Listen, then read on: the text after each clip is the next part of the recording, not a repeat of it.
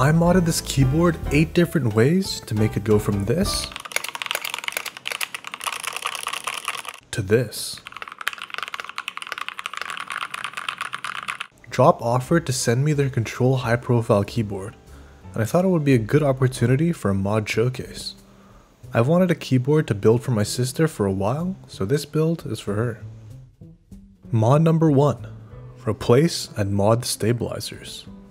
The stock stabilizers on this board are truly terrible. They're lubed from the factory, but are somehow still extremely rattly. Thankfully, Drop also sent these Everglide Panda stabilizers, which are manufactured by JWK just like Durock plate mount stabs. To begin, I Epsi modded the ramp of these stabs using the C3 Stabilizer Soulmate kit. I then lubed the housings with Krytox 205 Grade 0 and the wires with Krytox XHT BDZ. If you're in the market for lube, I'm now partnered with a new vendor that specializes in lube and stabilizer tools, PovertyKeys. They have some of, if not the best lube prices on the market, which get even better with discount code TECHBRO for 5% off. Anyways, the difference between the stock and newly tuned stabs is pretty night and day, both in terms of sound and feel. Mod number 2 Switch Foam. I've had these poron switch pads from KBDfans lying around for a while. For my testing, they produce a similar effect to a full sheet of PE foam, but their effect on sound is not as potent, which I actually like for this build. They're also super finicky to apply, and I don't even want to think about how annoying it would be to remove them all. But they do have cutouts for all the pins and per key LEDs, which is handy for the control.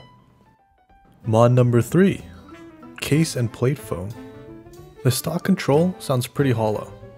To alleviate this, I picked up some StupidFish case and plate foam, which comes in many different parts because of the unique architecture of the control case. Mod number 4 Tape Mod.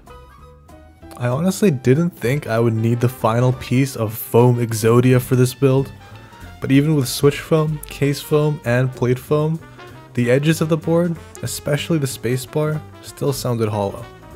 So I tape modded underneath just the spacebar area. Mods number 5 and number 6 Spacebar foam. Even foam Exodia wasn't enough. So, I added some adhesive neoprene foam under the spacebar keycap and some Thinsulate in the gap between the plate and PCB.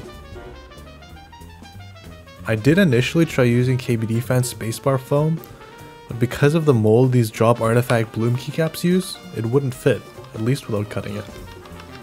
Mod number 7 Switch washers. You may have noticed that the control PCB is north facing, meaning that these cherry profile artifact bloom keycaps may cause interference in certain rows. In other words, they may collide with the switches. With these Momoka frogs, only row 3 was affected. So, I placed some of these washers from OLKB on the R3 switches, and it alleviated the interference completely.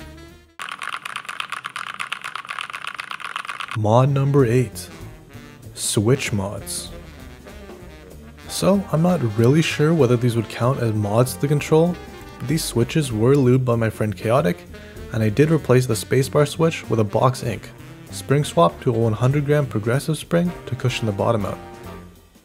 I also had to clip the PCB mount pins in the box ink in order to fit it into the control PCB. So there you have it. 8 or so mods, depending on semantics, to get the control sounding how I wanted. Overall, at $200 down from $250, I would actually say this board is worth its cost, especially if you need a board ASAP and find modding fun.